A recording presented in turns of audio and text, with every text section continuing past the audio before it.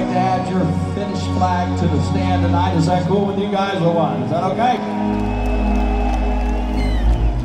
We are real, real big supporters of our troops and their families over in good old USA. And we want to pay tribute to your, your troops and their families tonight. And I got to tell you, whether you were born on the west side of Jacksonville, Florida, or here in Finland, we're all just